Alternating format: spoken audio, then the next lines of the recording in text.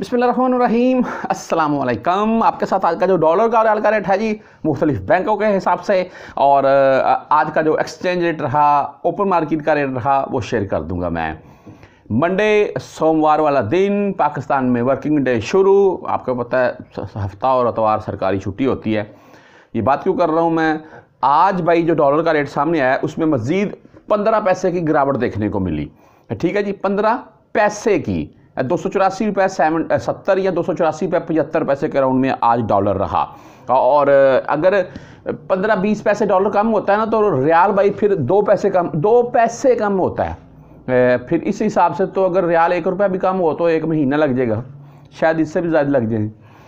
तो बहरहाल, जी up down वाला सिलसिला चलता रहता है और आप भाइयों को बताता रहता हूँ, भाई मैं जो भी सूरत हाल होती है सेंड कर दें, रोक लें, क्या मामला हैं हर बंदा ही भाई घर को अच्छा वो पंजाबी में एक कहावत है मेरे पंजाबी भाई सारे समझते हैं वो कहावत को जिंदे घर दाने उनदे न्याणे भी सियाने ठीक है जी? पंजाबी भाई इस कहावत को बहुत अच्छे से समझते हैं। तो हर बंदा ही सियाना है भाई घर को।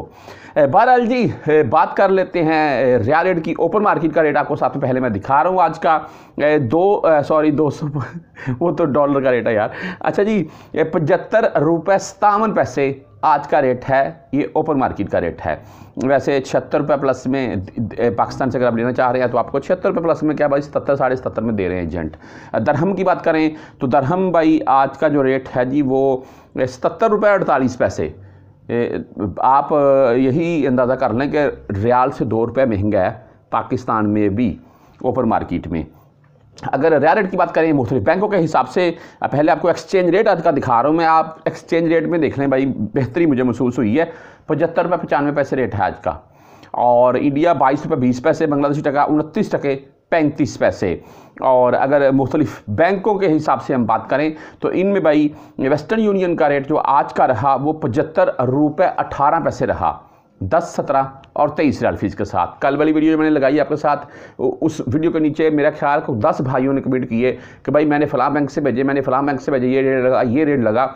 आप वो मेरे वीडियो के नीचे जो कमेंट है, वो भी पढ़ सकते हैं, वहाँ से भी आपको कन्फर्म रेट भाई बताते हैं, जो भेजते हैं। अच्छा जी, उसके बाद मनीग्राम की बात करें तो मनीग्राम का आज का रेट है पचहत्तर रुपये बारह पैसे, दस सत्रह और तेईस रियाल फ़ीस के साथ। अगर टेली मनी यानी कि ए एन बी बैंक की बात करें तो भाई इनका आज का रेट है पचहत्तर रुपये छः पैसे, दस सत्रह और तेईस रियाल इनकी भी फ़ीस होती है।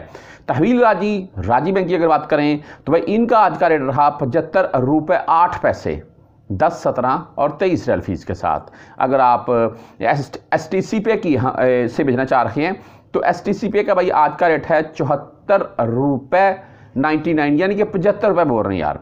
एस टी सी पे का रेट आज डाउन देखने को मिला है, दस, सत्रह और तेईस साल फ़ीस के साथ। अगर फौरी बैंक बैंक जजीरा की हम बात करें तो भाई इनका आज का रेट है पचहत्तर रुपये चौदह पैसे, दस, सत्रह और तेईस रियाल फ़ीस के साथ। इससे आगे अगर आप इंजाज बैंक से यानी कि भेजना चाहते हैं तो इंजाज बैंक आज का रेट दे रहा है पचहत्तर रुपये सात पैसे, दस सत्रह और तेईस रियाल फ़ीस होती है जिनकी भी। और अगर आप क्विक पे से सेंड करना चाहते हैं तो भाई क्विक पे का आज का रेट है पचहत्तर रुपये उन्नीस पैसे, दस सत्रह और तेईस रियाल फ़ीस के साथ। वीडियो के लास्ट में तमाम प्रदेशियों के लिए मैं आपको पिछले एक हफ़्ते से बोल रहा हूँ रेट अच्छा है, अगर आपने अभी भेजनी है तो भेज सकते हैं।